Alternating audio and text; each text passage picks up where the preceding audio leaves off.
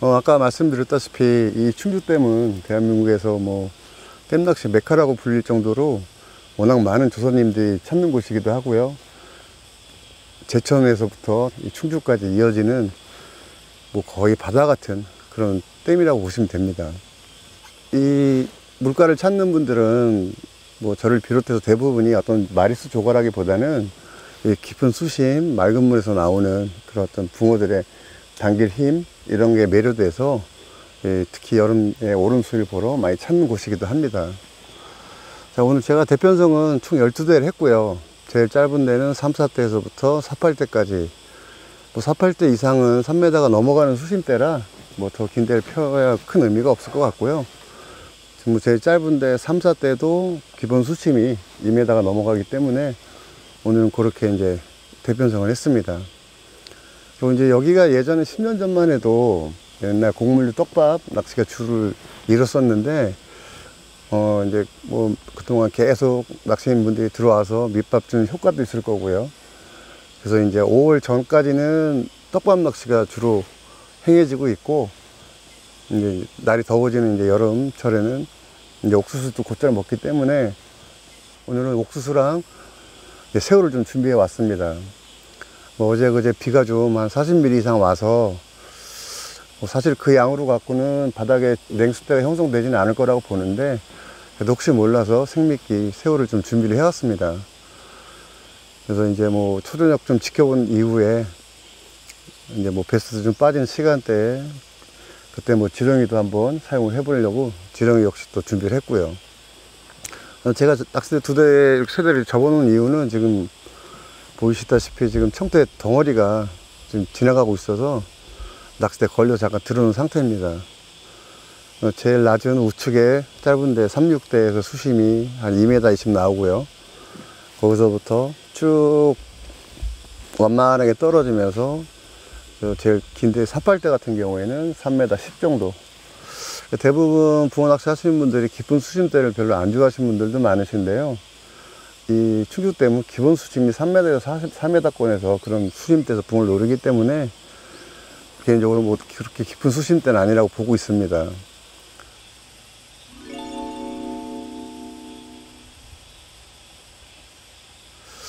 글쎄요, 뭐, 예, 90년대, 2000년대 초반까, 초반까지만 해도 참 많은 개체수가 있던 그런 곳인데, 뭐 2000년 이후에 지금까지는 이제 유행처럼 로또 붕어라고 할, 만, 할 만큼 붕어 얼굴을 보기가 쉽지 않은 곳입니다. 그래서 하루 밤 낚시에 사실은 뭐 한두 마리 본다는 게 쉽지 않은 곳인데요. 또 열심히 노력한 만큼 또 첫 방송이니만큼 약간의 운이 따라준다면 한두 마리 볼 수 있지 않을까 생각해 봅니다.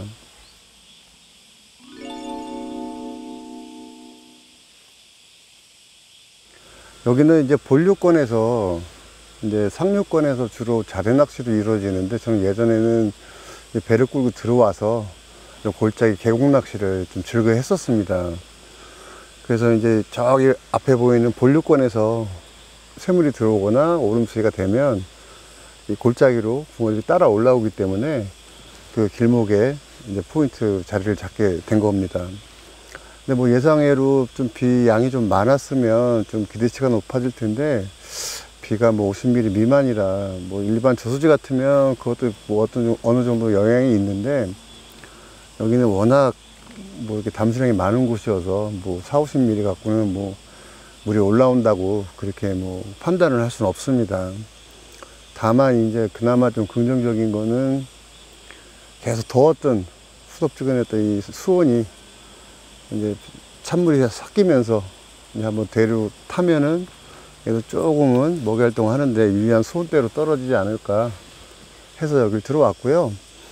이제 주로 여기가 낚시가 이루어지는 시간대가 새벽이라고 보시면 됩니다. 왜냐면 음, 이것뿐만이 아니고 원래 대형 댐들은 이제 발전방류, 특히 여름에 좀 많은 양의 발전방류를 하기 때문에 뭐 초저녁이나 늦게까지 10시, 11시까지 물이 좀 빠져나갑니다. 그래서 그때는 이제 조금 여유 있게 낚시 즐기다가 이제 수문을 닫고 방류가 끝나면 그때서부터 물이 또 살짝 올라오기 시작하는데 그때서부터 그러니까 이제 한 11시 이후 그 가장 피크 타임은 새벽 2시, 3시 이 시간대를 노리고 낚시를 하는 게 그나마 좀 확률이 높은 곳이기도 합니다.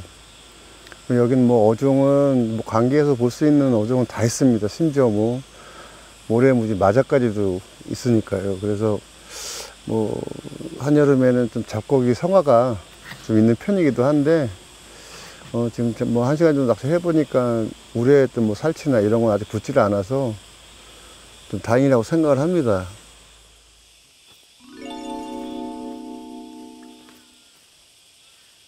이제 아무래도 짧은 골은 좀 피하시는 게 낫고요. 좀 장시간 안 빠져나가고 머무를 수 있는 긴 골짜기를 선택하는 게 유리하고요. 아무래도 이제 깊은 골에서는 또 이제 계곡에서 물이 어느 정도 비가 오면 생물 유입되면서 찬물과 함께 이제 뭐 나뭇가지 열, 열매, 나무 열매라든가 붕어에 그 믿게 될 수 있는 것들이 부유물 같은 것들이 떠내려 오니까 될 수 있으면 뭐 이렇게 좀 쉽게 들어올 수는 없는 곳이기도 하지만 깊은 골짜기를 선택하는 게 좀 조금 유리할 것 같습니다.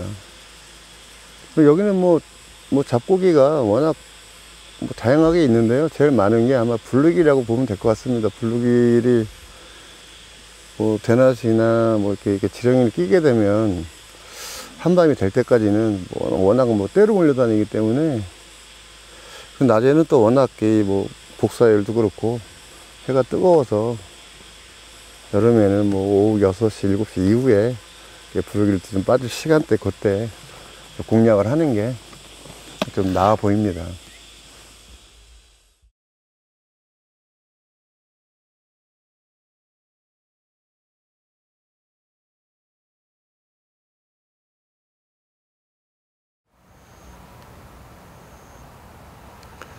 음, 여기는 아까 말씀드렸다시피 주로 이제 붕어 낚시 조과가 나온 시간대가 새벽 2시 이후라 초저녁에 붕어 얼굴 보기가 진짜 쉽지 않은 곳인데 어, 사실상 저는 뭐 새벽 시간을 노리고 좀 더 뭐 낚시를 진행을 하고 있습니다. 음, 지금까지 이제 옥수수를 공략을 하고 있고요. 이제 새벽 시간대는 잡고기도 조금 더 빠져나가는 그 시간대에는 뭐 새우 반, 옥수수 반 정도 이렇게 두 가지 응용을 해서 좀 지켜볼 생각입니다.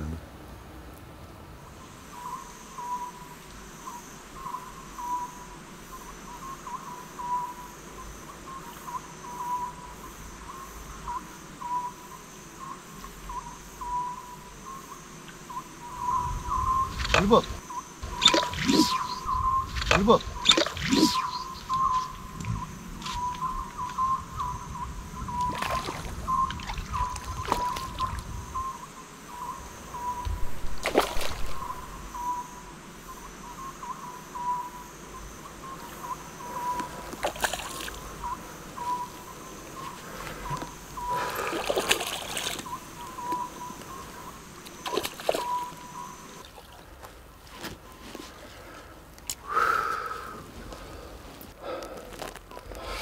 한 34?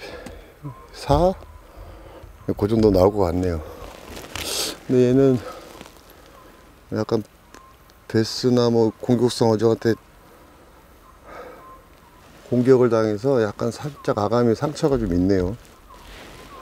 바로 좀 방생을 하고 요거 이제 새벽 되기 전에 차 한잔 마시고 이제 새벽 낚시를 좀 진행을 해야 될 것 같습니다.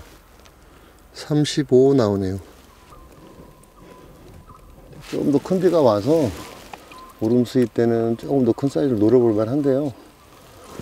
아직 지금은 오름 수입도 아니고 낚시 자체가 좀 불안정한 상황에서 배수가 진행되다 보니까 아직 큰 건 붙지는 않는 것 같은데요. 모르겠습니다. 또 새벽 시간대는 조금 더 큰 게 붙지 않을까. 좀 그런 기대감이 생기네요. 원래 12시 전에는 좀 붕어 얼굴 보기 쉽지 않은 곳인데